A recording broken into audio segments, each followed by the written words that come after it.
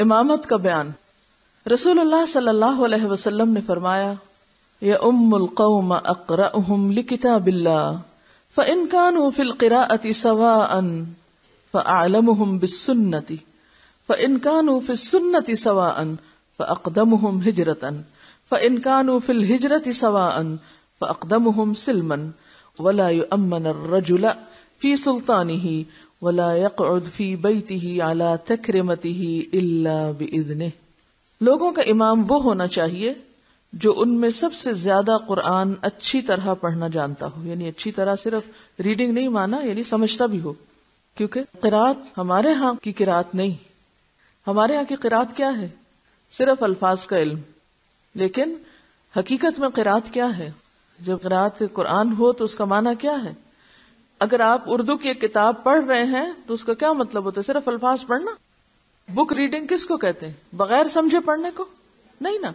हाँ कुरान की किरात का जो कॉन्सेप्ट हमारे जहन में फ़ौरन आता है, वो क्या होता है? बगैर सोचे समझे पढ़ना, इसको हम किरात कहते हैं। इसलिए वजाहत ज़रूरी है कि कहीं आप ये ना समझें कि इससे मुराद सिर्फ़ अल्फाज हैं। अगर किरात में सब बराबर हो तो फिर वो इमामत कराए जो सुन्नत को सबसे ज़्यादा जानता हो। यानी सबसे ज़्यादा अहकाम और मसाइल की हदीसें जानता हो, फिर अगर सुन्नत के इल्म में सब बराबर हो तो फिर इमामत वो कराए जिसने सबसे पहले हिजरत की हो, मदीना की तरफ़। अब ये भी एक मेरिट था।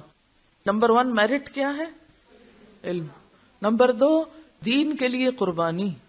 दीन के लिए की गई कुर्बानी मेरिट है। और उसमें भी जो सबसे पहले करे। अगर हिजरत में भी सब बराबर हो तो फिर इमामत वो कराए जो सबसे पहले मुसलमान हुआ। और बिला इजाज़त कोई शख्स किसी की जगह इमामत न कराए।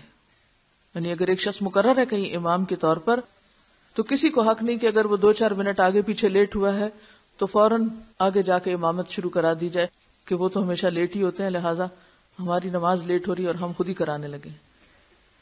तो ये भी एक किस्म की बगावत है, ये दुरुस्त नहीं।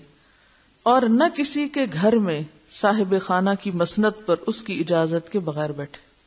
यानी किसी के घर में घर वाले की जो मखसूस बैठने की जगह है, मसलन उसका स्टडी टेबल है, या उसका कोई खास बैठने का एक मकाम है तो वहाँ जाकर न बैठे उसकी इजाज़त के बगैर। क्यों? ये क्यों मायूब है? सबसे बड़ी बात यही है कि उसकी प्राइवेसी है। उसकी कुछ ऐसी चीज़ें हो सकती हैं कि जो वो नहीं चाहता कि वो किसी और को दिखाए या किसी और के पास जाए। और दूसरे के लिए नागवारी का सबब हो सकता है। और ऐसी चीज़ें ताल्लुकात में खराबी का सबब बनती हैं। अब देखे ना, किसी को उसके मकाम से हटा के या उसकी इजाज़त के बगैर खुद वहाँ जा बैठना, इसमें साहिब खाना के एहतराम या मकाम या उसकी प्राइवेसी, इन चीज़ों के हुकूक पर जद पड़ती है। ये भी एक तरह की सरकशी वाली बात है ना। लेग पुलिंग यहीं से तो शुरू होती है। अच्छा इस चीज़ को आप कहीं और भी अप्लाई कर सकते हैं। और कहा ना बैठा जाए। जिस तरह उस्ताद, कहीं भी, किसी स्कूल में, कॉलेज में, यूनिवर्सिटी में, कहीं भी, या किसी के ऑफ़िस में जाकर ऑफिसर की चेयर पर बैठना, और अगर कोई मना करे तो कहे, ये बहुत बड़े बनते हैं। ये बात नहीं है। वो उसका खास मकाम है, जो उसी के लिए बना है।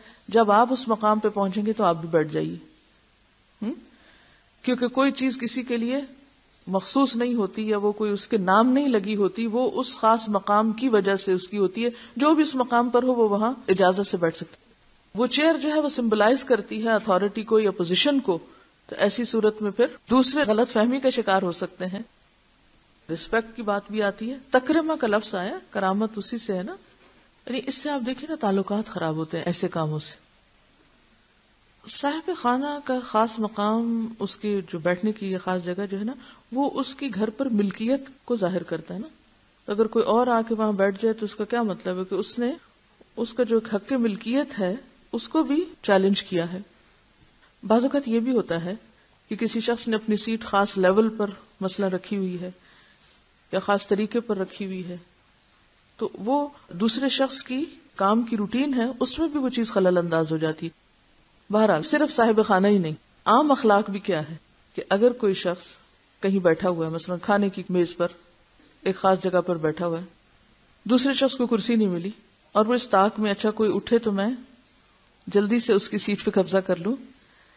अब अगर वो उठा है, गया है, और वापस आया तो देखा कि कोई और वहाँ पर बराजमान है तो ये चीज़ भी दुरुस्त नहीं।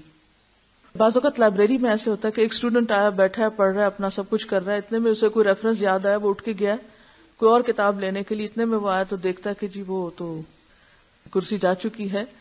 तो ये एक बेसिक अखलाक की बात भी है। ठीक है? चलिए। अगर किताबुल्लाह किसी नाबालिग बच्चे को ज़्यादा याद हो, हाफिज है बच्चा और बाकी सब नहीं तो उसे इमाम बनाया जा सकता है। नाबालिग बच्चा अगर हाफिज कुरान है तो उसको इमाम बनाया जा सकता है, दलील। हज़रत अमर बिन सलमा रज़ी अल्लाह फरमाते हैं कि अपने कबीले में सबसे ज़्यादा कुरान मुझे याद था। बस मुझे इमाम बनाया गया।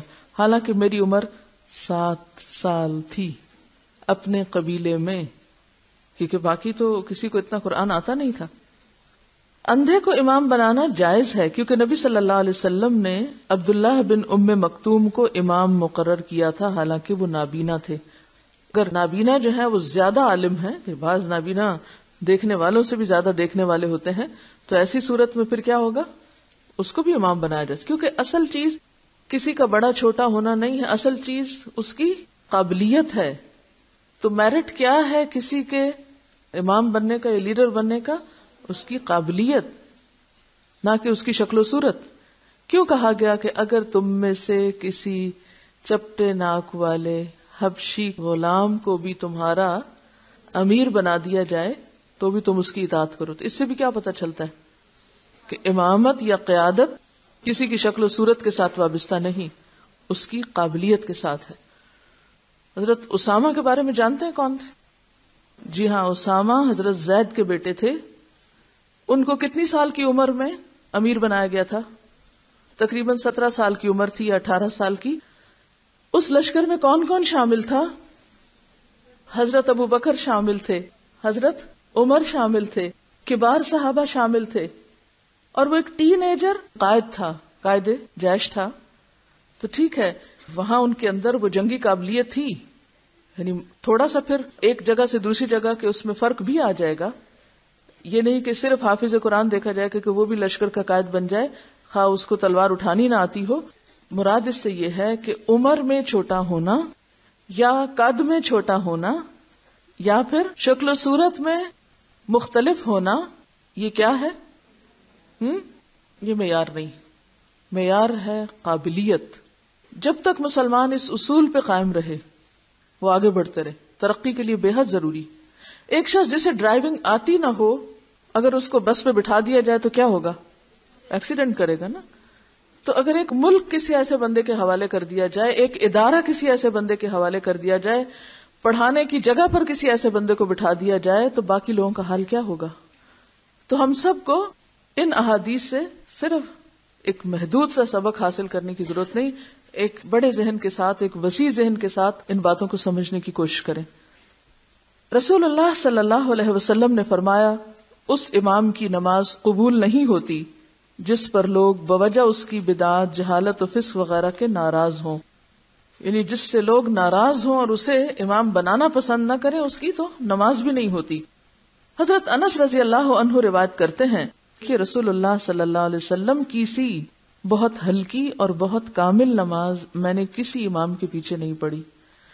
जब आप औरतों की सफ में बच्चे के रोने की आवाज़ सुनते तो इस डर से नमाज़ हल्की कर देते कि उसकी माँ को तकलीफ़ होगी। हज़रत अबू कतादा रज़ी अल्लाह अनहु से रिवायत है कि रसूलुल्लाह सल्लल्लाहु अलैहि वसल्लम ने फरमाया, मैं नमाज़ लंबी करने के इरादे से नमाज़ में दाखिल होता हूँ। फिर औरतों की सफ में बच्चे के रोने की आवाज़ सुनता हूँ तो अपनी नमाज़ में कमी कर देता हूँ, यानी हल्की पढ़ाता हूँ कि बच्चे के रोने से उसकी माँ को तकलीफ़ होगी। तो क्या औरतों पर जमात से नमाज़ पढ़ना या मस्जिद में पढ़ना फ़र्ज़ था?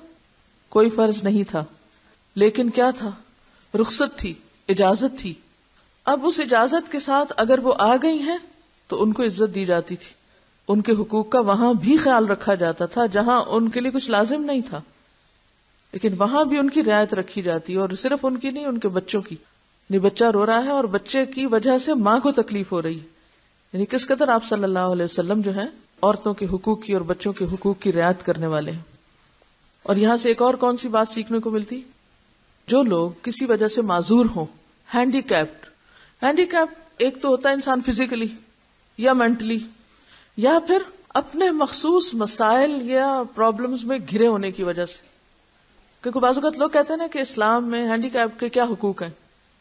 इस वक्त मगरब में तो जो माजूर अफराद हैं, चाहे वो किसी भी माजूरी का शिकार हैं, उनके लिए हर तरह की सहूलतें मुहैया की गई। हती कि तफरी गाहों में, पार्क्स में, स्कूल्स में, बल्कि होता यह है कि जो बेस्ट पार्किंग का एरिया होता है, किसी मॉल में, शॉपिंग के एरिया में, या किसी पब्लिक प्लेस में, जो करीब तरीन अच्छी जगह होती है, वो हैंडीकैप्ट के लिए मखसूस होती है, उस पर निशान लगे हुए होते हैं कि यहाँ को और गाड़ी भी पार्क नहीं कर सकता। मखसूस किस्म की कुर्सियाँ बनी हुई होती है, मखसूस इदारे बने होते हैं, जहाँ उनको तालीम दी जाती है। एक मरतबा एक जगह पर मुझे जाने का इतफाक हुआ टोरंटो डाउनटाउन में, और वहाँ पर बहुत ही ह्यूज बिल्डिंग थी। जब उसकी एंट्रेंस में हम दाखिल हुए इन्फॉर्मेशन के लिए तो इन्फॉर्मेशन डेस्क पर नाबीना लड़की खड़ी थी। वो महज अपने, शायद ब्रेल से या अपनी मखसूस चीज़ें मखसूस जगहों पर रखने की तरबियत लेकर वो हर आने जाने वाले को इन्फॉर्मेशन भी दे रही थी, और उसके साथ उसका मतलूबा कार्ड या कागज़ या जो भी चीज़ें विजिटर को चाहिए होती हैं, वो उनको दे रही थी। अब आप खुद सोचें कि हम कहते हैं कि नाबीना इमाम ना बने और वहाँ इन्फॉर्मेशन डेस्क पर एक नाबीना शख्स खड़ा है, क्योंकि इन्फॉर्मेशन देने का ताल्लुक किसी की शक्ल देखने से नहीं है, बल्कि उसकी मदद करने से है। तो मैं हैरान होगी कि कितनी इज़्ज़त दी गई है ऐसे लोगों को, जिनको हम सारी ज़िंदगी बेकार कठारे में डाल देते हैं कि वो किसी काम के नहीं है और हर एक सिर्फ़ उनके ऊपर मज़ाक करता है या हंसता है या उसको एक बेकार चीज़ समझ के फेंक देता है। तो असल है, किसी भी कौम की सोच क्या है? इंसानी हमदर्दी क्या है? इमाम अहमद बिन हम्बल के बारे में पढ़ के तो यकीन करें, मुझे अपना आप इतना हकीर लगा कि इतना हम लोगों की खैरखाई के दावे करते हैं, आज तक मैंने ऐसी दुआ क्यों नहीं मांगी? मेरे दिल में ऐसी सोच क्यों नहीं आई? क्यों नहीं ऐसी सोच आई? क्या मांगा था उन्होंने कि अगर किसी गुनागार का या अल्लाह तुझे फिदिया चाहिए तो उस फिदिया में मुझे ले ले। हम में से है कोई जो ये सोचे भी? मुझे तो कम अज कम ऐसी सोच आई भी नहीं। तो मैं सोच रही थी कि फिर हम किस तरह की बातें करते हैं कि हम बड़े खैर खा दूसरों के? कितनी तड़प है दूसरों के लिए? गुनागारों के लिए?